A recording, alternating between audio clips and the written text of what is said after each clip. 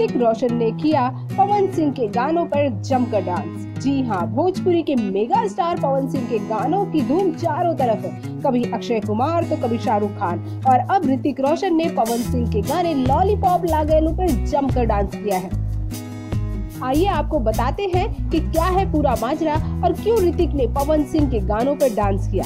आपको बता दें कि ऋतिक रोशन इस वक्त सुपर थर्टी नाम की एक फ़िल्म कर रहे हैं, जो बिहार के मैथ के टीचर आनंद कुमार के लाइफ पर बनी है। इस फ़िल्म में भोजपुरी बोलते नज़र आएँगे ऋतिक रोशन। जी हाँ बॉलीवुड का ये क्रिश आपको इस फ़िल्म में भोजपुरी बोलता नज़र आएगा। ऋतिक ने भोजपुरी बोलने के लिए क्लास तक ली है, ताकि वो अपने रोल को पूरी तरह से परफेक्ट यानी कि पूरी ईमानदारी से निभा सके। जब ये खबर पवन सिंह को मिली कि ऋतिक रोशन ने उनके गानों पर जमकर डांस किया है, तब पवन सिंह ने कहा कि ये हमारे लिए बहुत ही गर्व की बात है कि ऋतिक जैसा सुपरस्टार भोजपुरी गानों पर डांस करे।